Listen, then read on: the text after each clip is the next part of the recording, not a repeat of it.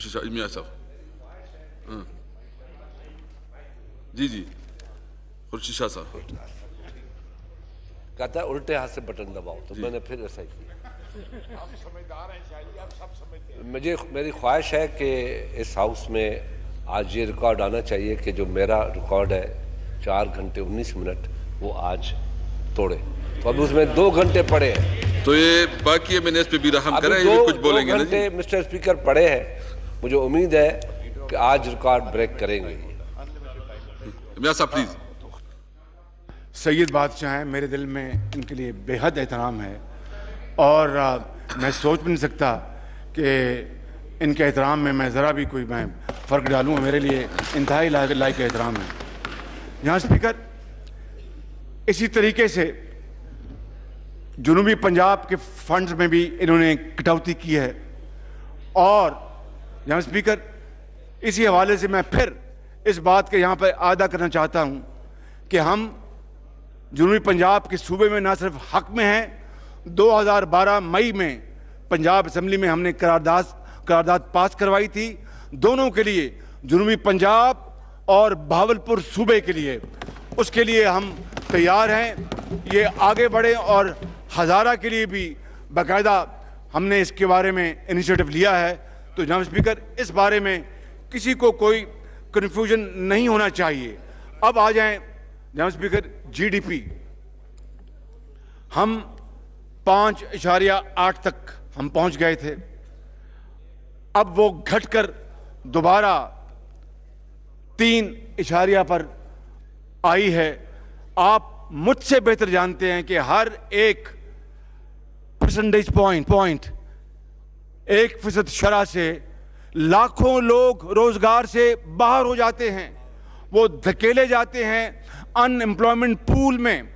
ہر ایک فیصد اگر شرح گھٹتی ہے تو اس طریقے سے تین فیصدی پہ اگر آئے ہیں تو تقریباً اس وقت دس بارہ لاکھ لوگ جناب اسپیکر وہ روزگار سے باہر نکل جا چکے ہیں۔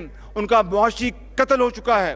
اور اب اب یہ پریڈکشن دی آ رہی ہے کہ اگلے سال two point two G D P two point یا ٹو پوائنٹ فور ہوگا۔ یہ انہی کی فگرز ہیں۔ گو کہ ان کے اپنے محکمے آپس میں وہ جھگڑا کر رہے ہیں، لیکن اگر ٹو پوائنٹ چھوڑ دیں ٹو پوائنٹ فور بھی ہو اور اس سے لاکھوں لوگ روزگار سے باہر نکل جائیں گے۔ کیا یہ وہ، کیا یہ وہ پاکستان تھا جس کے لیے انہوں نے قوم سے یہ وعدے کیے؟ جناب اسپیکر میں سمجھتا ہوں کہ یہ عوام کا روزگار کا قتل عام، یہ ان کی مہنگائی، یہ دوائیاں مہنگی، یہ اکہتر سال میں پہلے اس سے دل خراش واقعات پہلے کبھی نہیں ہوئے، یہ جا کے پوچھیں اس بیٹی سے جس کا والد اس دنیا کو چلا گیا، جس کو وقت پہ دوائی نہیں ملی، اس لیے کہ ہسپتال والوں نے کہا کہ اب مفت دوائی ختم، اب پیسے لے کے آئیں۔ یہاں اسپیکر میں آپ سے ملتمس ہوں۔ خدا را ان کو سمجھائیں کہ یہ دوبارہ سستی مفتیاں دوبارہ شروع کریں، مفت علاج شروع کریں اور اس وقت کا انتظار نہ کریں جب عوام کا ایک ریلا ہر چیز کو خس و خاشاک طرح خدا نہ خواستہ بہا لے جائے گا۔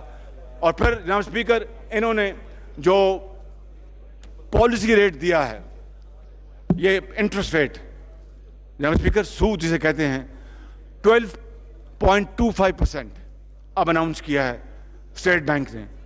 اب اس کے اوپر اگر آپ جناب اسپیکر سپریڈ یا پریمیم لگائیں بینک کا، تو وہ کم از کم پندرہ فیصدی پہ چلا جائے گا یا سولہ فیصدی پہ۔ اس سے کم قرضہ سرمایہ کاروں کو نہیں ملے گا۔ مجھے بتائیں کہ وہ کون سا ملک ہے، وہ کون سا طریقہ ہے جس میں سرمایہ کار سولہ فیصدی پہ بینکوں سے قرضہ لے منافع کمائے، بینک کا قرضہ اتارے اور پھر کاروبار کو اور گھر کا خرچہ چلائے، یہ ممکن نہیں ہے۔ لوگ بینکوں میں پیسہ جمع کرانا شروع کر دیں گے، انٹرسٹ ریٹ لیں گے، کاروبار ٹھپ ہو جائے گا، روز بے روزگاری عام ہو جائے گی، پروڈکشن نہیں ہوگی اور اکانومی ہماری خدا نہ خواستہ آئی سی یو میں چلی جائے گی۔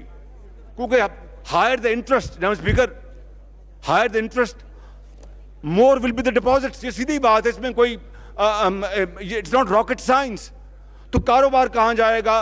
اپنا دکاندار کہاں جائے گا؟ پروڈکشن کہاں جائے گی؟ صنعتیں کہاں جائیں گی؟ زراعت کہاں جائے گی؟ یہ وہ جناب اسپیکر بڑے امپورٹنٹ پوائنٹس ہیں جو کہ میں آپ کی خدمت میں عرض کرنا چاہتا تھا۔ ہر طرف آپ دیکھیں، بدقسمتی سے تباہی، مایوسی اور بد انتظامی عروج پر ہے۔ اور اس وقت روم جل رہا ہے اور نیرو بنسری بجا رہا ہے۔ میں سمجھتا ہوں کہ یہ ایک بہت ہی افسوسناک بات ہے اور کل ہی، کل کے اخبارات میں آیا۔ ایشین ڈیولپمنٹ بینک کے حوالے سے ہمارے حکومت کے بعض ذمہ دار وزراء نے کہا کہ ایشین بینک ہمیں تین یا ساڑھے تین billion dollar as budgetary support fund دے گا۔ اور دیکھیں سنڈے اتوار کا دن تھا۔ ایشین ڈیولپمنٹ بینک کے ہیڈ پاکستان نے دفتر کھولا اور اس کی جتنی بھی نرم طریقے سے وہ تردید کر سکتے تھے کی کہ ہم نے اس طرح کی کوئی بات نہیں کی۔ اب بتائیے کہ ایک طرف آپ نے ہر چیز تباہ کر دی ہو، اوپر سے آپ غلط بیانی آپ کرتے ہیں، اوپر سے آپ دعوے کرتے ہیں، جس کو اسی وقت دنیا کے جو امپورٹنٹ جو انسٹیٹیوشنز ہیں، اس کی وہ تردید کریں۔ تو پھر جناب اسپیکر پھر ہمارا خدا حافظ ہے۔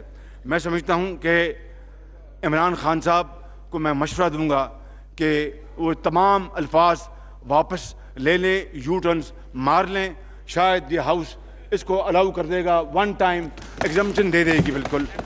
One time amnesty one time اس طرح دے دیں گے کہ میں خودکشی کر لوں گا آئی ایم ایف نہیں جاؤں گا، فلاں ہم، میں on behalf of this opposition benches آپ سے وعدہ کرتا ہوں، عمران خان صاحب تشریف لائیں، کہیں کہ جناب اسپیکر یہ سب میں نے وعدے کیے تھے، غلط بیانی کی تھی، ایسے میں نے بڑے ماری تھی، میں یو ٹرن مارتا ہوں، سر وی ول کنڈول ہم اس کو کنڈون کر دیں گے۔ آئی دس از مائی کمٹمنٹ لیکن وہ ایک دفعہ کریں تو صحیح، وہ قوم کے سامنے اعتراف کرے تو صحیح جناب اسپیکر یہ ہے وہ پوائنٹ جو کہ انتہائی تکلیف دہ ہے کہ آپ ڈھٹائی کے ساتھ غلط بیانی کرتے جائیں اور پھر آپ کو یہ بھی احساس ندامت بھی نہ ہو اور احساس ندامت جو ہے وہ آپ کے قریب سے ملنے گزرے۔ یہ میں جس جس قوم کے اندر، جس معاشرے کے اندر احساس زیاں جاتا رہے، وہاں پر زندگی کی رمق ختم ہو جاتی ہے۔ جناب اسپیکر آج بھی وقت ہے کہ وہ اس بات کا احساس کریں۔ اور آئیں اور کہیں کہ یہ ہم سے بلنڈرز ہوئے، ہم قوم سے معافی مانگتے ہیں اور ہم معاملات کو دوبارہ شروع کرتے ہیں، شاید یہ اپوزیشن جو ہے اس کا الاؤنس دے گی اور موقع دیں گے۔ جناب اسپیکر میں اس لیے یہاں پر کہنا چاہتا ہوں کہ پہلی شرط اس کی شرطیں ہیں۔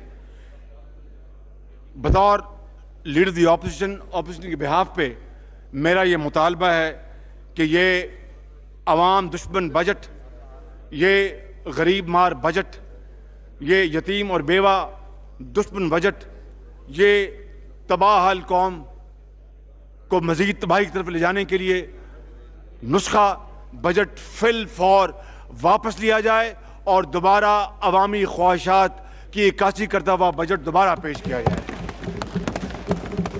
دوسری بات منیمم ویج مزدور کی جو منیمم ویج ہے، آج آپ کو پتہ ہے، آپ سے بہتر کون جانتا ہے جناب اسپیکر کہ آپ کا عوام کی نفس کے اوپر آپ کا بڑا ہاتھ ہے۔ اور میں اس کو اپریشیٹ کرتا ہوں کہ غریب آدمی پندرہ بیس ہزار میں تو وہ اپنی ایک بل نہیں دے سکتا۔ وہ کہاں سے پیاز اور ٹماٹر لے کے آئے گا؟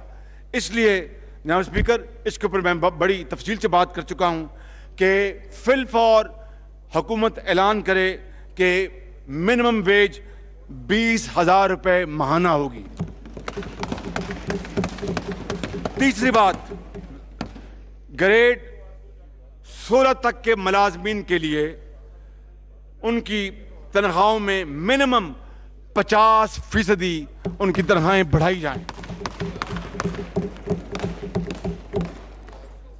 اور ہم نے اپنے دور میں جناب اسپیکر ایک لاکھ ماہانہ تنخواہ لینے والے تنخواہ دار سے ٹیکس سے اس کو ایگزمپشن دی ہوئی تھی۔ اسی ایگزمپشن کو دوبارہ بحال کیا جائے۔ اور بجلی، گیس، بجلی اور گیس کی قیمتوں کو دوبارہ اکتیس مئی دو ہزار اٹھارہ کی سطح پر واپس لایا جائے۔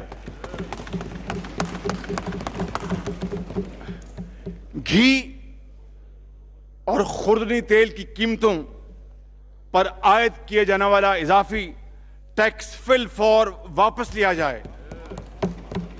صحت اور تعلیم کے بجٹس میں رقوم نہ صرف زیادہ مختص کی جائیں، بلکہ جو مسلم لیگ نون کے دور میں ہسپتالوں کے اندر علاج معالجہ فری تھا Pakistan kidney and liver institute کے اندر جو ان کی جو سیٹلائٹس تھیں پورے پنجاب میں، نہ صرف یہ حکومت، اس کو پورے پاکستان میں اس کو ایکسپینڈ کرے، بلکہ وہاں پر ادویات جو ہیپاٹائٹس کے مریضوں کے لیے، جو اس ملک کے اندر لاکھوں ہیپاٹائٹس کے مریض ہیں، ان کو فری دوائیاں ملتی تھیں۔ ان کے گھروں میں تھرو پارسل فیڈکس کے ذریعے دوائیاں پہنچائی جاتی تھیں۔ اس نظام کو دوبارہ بحال کیا جائے اور جوانوں کے لیے، قوم کی بیٹیوں اور بیٹوں کے لیے جو تعلیمی وظائف تھے، ان کو بحال کیا جائے۔ ہم نے پنجاب میں میں نے اپنے دور میں چھٹی کلاس سے اوپر تمام بچیوں کو پبلک سکول میں ان کا جو ماہانہ وظیفہ تھا، اس کو دو سو روپے سے بڑھا کر ہزار روپیہ کیا تھا۔ انہوں نے آ کر ہر چیز کو جناب اسپیکر اس کو تہ بالا کر دیا اور ہر چیز کے اوپر ریورس گیئر لگایا۔ پنجاب ایجوکیشن انڈاؤمنٹ فنڈ کو پورے پاکستان میں اس کو پھیلایا جائے۔ پنجاب پیف کو اور پیف پنجاب ایجوکیشن فاؤنڈیشن اس کو پورے پاکستان میں پھیلایا جائے۔ اور جس طرح ہم نے چین کے ساتھ مل کر ٹیکنیکل یونیورسٹی بنائی، اس کو پورے پاکستان میں اس کو پھیلایا جائے۔ جناب اسپیکر میں دیکھ رہا ہوں کہ آپ کا چہرہ مجھے یہ پیغام دے رہا ہے کہ میں اپنی تقریر جلد ختم کروں میں آپ کو مایوس نہیں کروں گا لیکن ابھی دو چار منٹ مجھے اور چاہیے میں پھر انشاءاللہ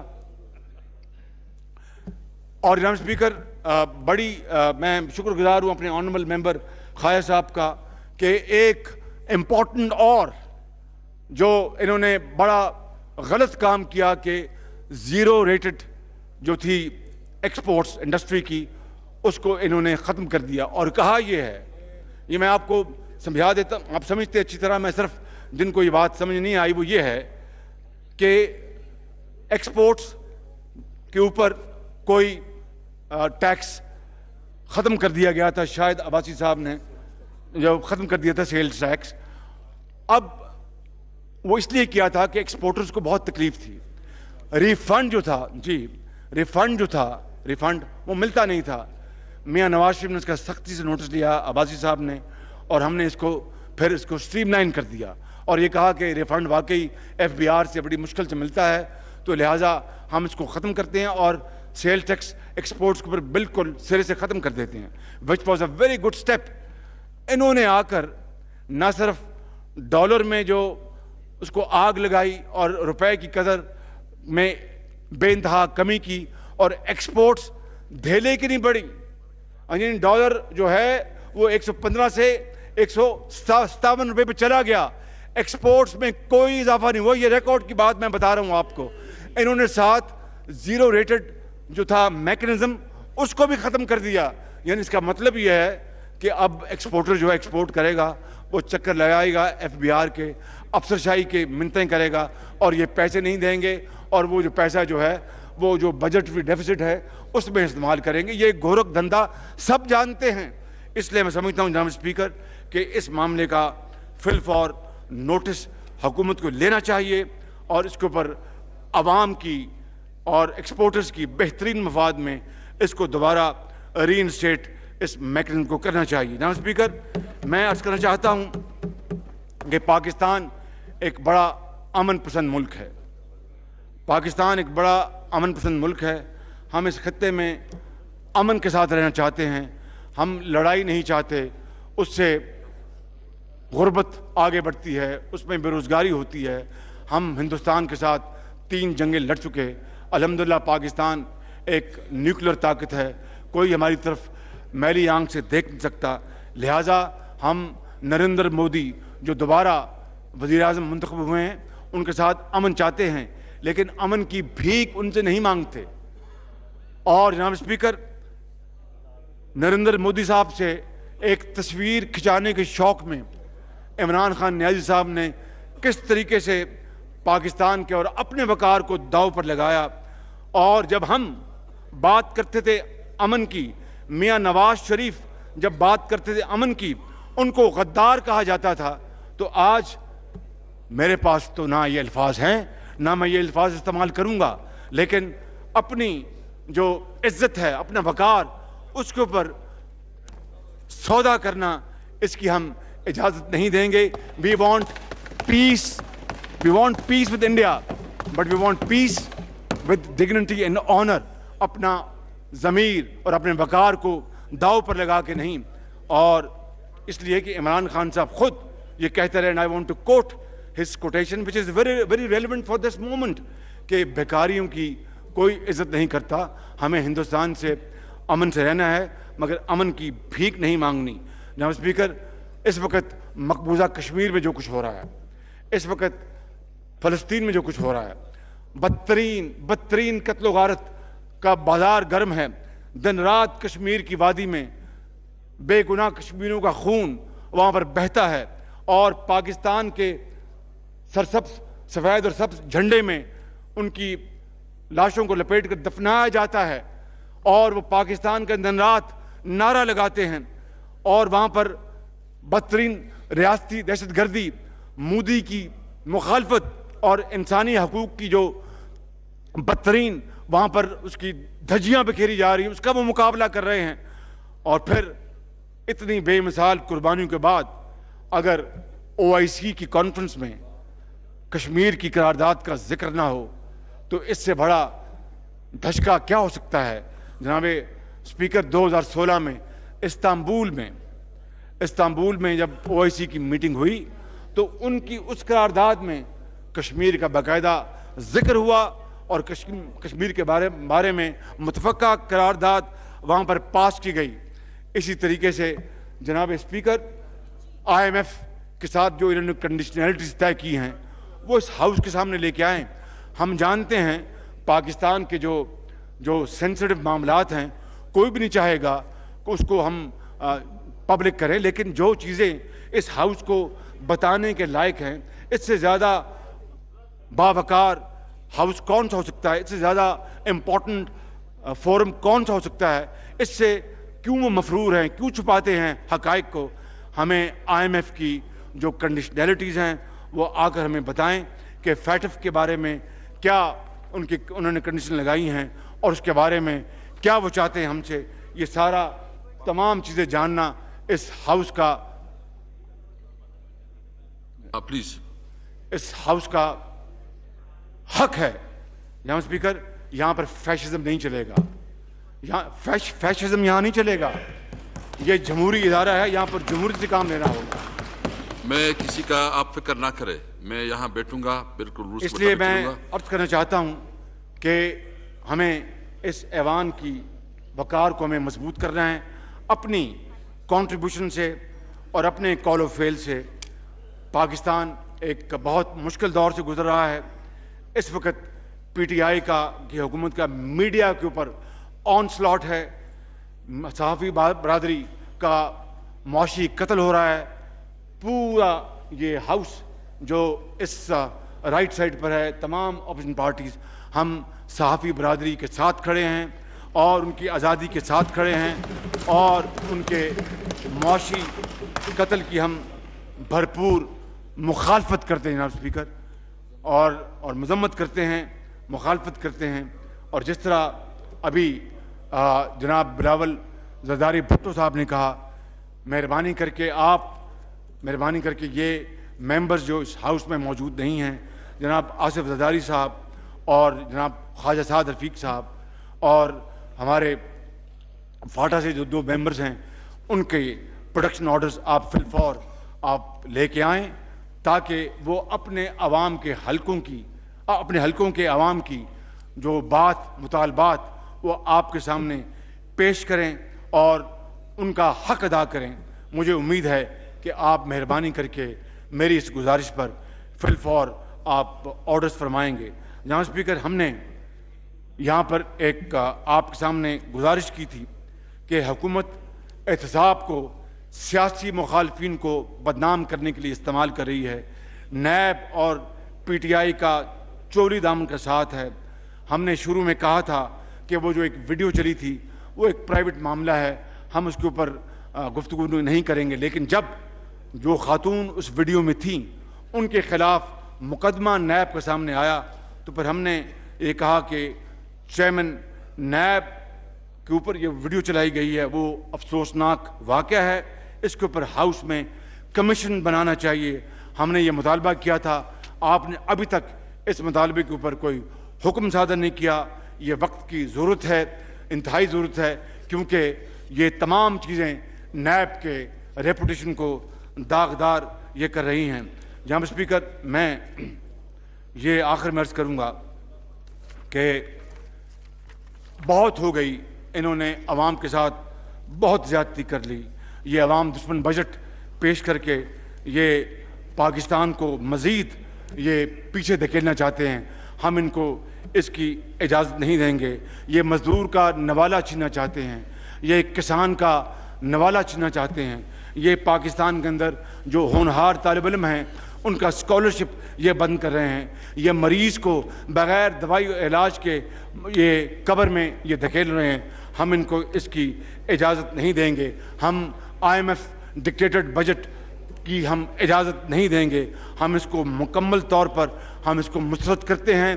ہم اس حکومت کو ہم اس کو حکومت کو نہیں چلنے دیں گے اگر انہوں نے اس بجٹ میں ترمیم نہ کی اور پاکستان کے عوام کی خواہشات کی ترجمانی نہ کی۔ آخر میں آخر میں میں ان اشعار کے اوپر بات ختم کرنا چاہوں گا اور اسی میں ہمارے ملک کی بقا ہے، اسی میں ہمارا سروائیول ہے، اسی میں ہماری جان ہے کہ تمنا آبرو کی ہے۔ اگر گلزار ہستی میں تمنا آبرو کی ہے اگر گلزار ہستی میں تو کانٹوں میں الجھ کر زندگی کرنے کی خو کر لے۔ اور نہیں یہ شان خودداری یہ آئی ایم ایف کو لے آئے ہیں۔ نہیں یہ شان خودداری چمن سے توڑ کر تجھ کو کوئی دستار میں رکھ لے، کوئی زیب گلو کر لے۔ پاکستان زندہ باد۔ عمر ایوب صاحب، جناب عمر ایوب صاحب، پلیز۔